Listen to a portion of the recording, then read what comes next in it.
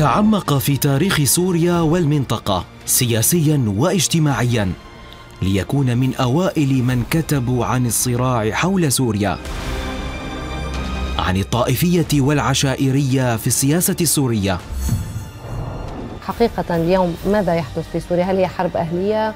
هل هي حرب بالوكالة؟ هل هي ثورة ما تزال؟